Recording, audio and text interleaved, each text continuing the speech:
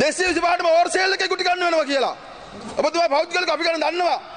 අපි රුපියලක්වත් හොරගන්න කර මිනිස්සු අද පණ බය ජීවත් වෙනවා. මේ පාර්ලිමේන්තු මන්ත්‍රීවරු අද ඇඳගෙන ඉන්න ඇඳුමක් නැති වෙන මන්ත්‍රීවරු ගණනාවක් ඉන්නවා. මේ ඇවිල්ලා මෙතන ජනප්‍රිය වෙන්න රූපවාහිනියට අරවටයි මේවටයි කතා කරනවා. වෛරය වපුරනවා. විපක්ෂයේ නායකයෙක් ඉඳලා හැමගෙනාම එක් කරන්නේ.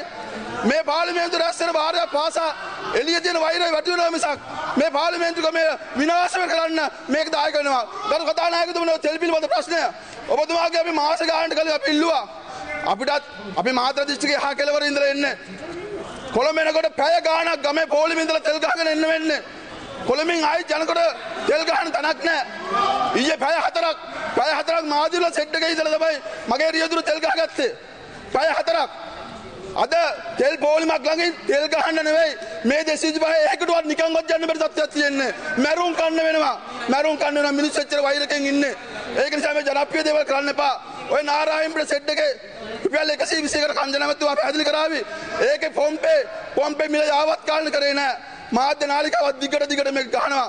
ඒක නිසා කරුණ නොදැන කරුණ හොයන්න නැතුව ප්‍රවෘත්ති මේ කතා කරලා සමාජයේ වෛරය වපුරලා මේ 225ට මරුන් කන්න අපේ පරම්පරාවලට මරුන් කන්න දදන්නේ ඒක නිසා මොලයක් තියෙනවා නම් ඇඟේ තරමට මොලයක් තියෙනවා නම් ඒ දේවට දායක වෙන්න එපා.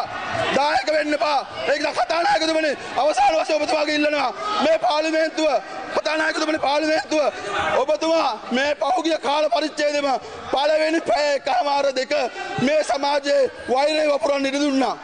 ඒක නිසා ඔබතුමා ස්ථාවර නියෝග අනුව මේ නගින්න නැගිනලාට කතා කරන්න දෙන්නේ නැතුව න්‍යාය පත්‍රයට වැඩ කරනවා නම් මේ ප්‍රශ්නයක් නැහැ. න්‍යාය පත්‍රයට වැඩ කරනවා නම් ඒක න්‍යාය පත්‍රයට වැඩ කරලා මේ පාර්ලිමේන්තුවේ ගෞරවය රකින්න කටයුතු කරන්න කියලා ගෞරවයෙන් ඉල්ලනවා.